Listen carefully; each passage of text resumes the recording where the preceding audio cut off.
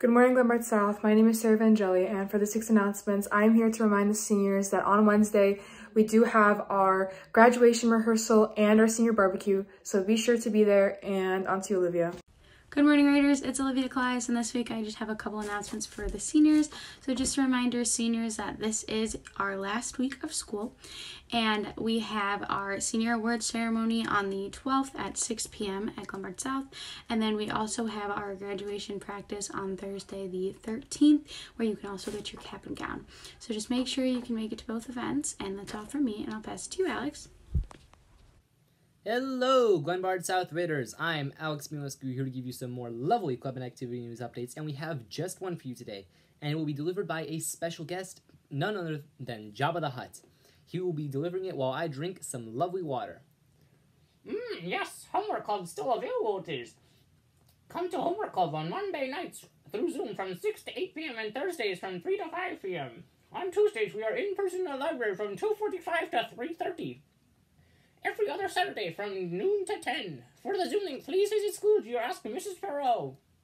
Ah, thank you, Yoda. Over to you, Megan. Thanks, Alex. Megan will back with the Raiders Staff Member of the Week and also the Raiders Students of the Week. Congratulations to Mr. Gorski for being the Raiders Staff Member of the Week. Thank you for all you do.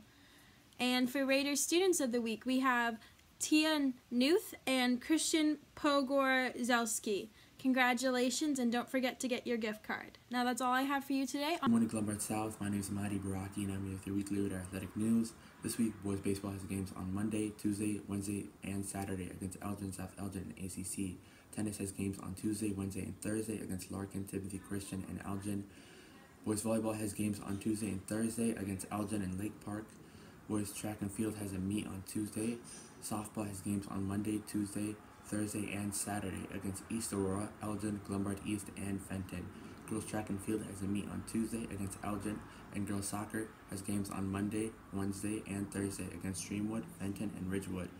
And Mr. Beaumont's JV tennis team has two meets this week, one on Monday and one on Thursday, against Glenbard North and Elgin. And Thursday is at home, and they have give away a tennis ball day.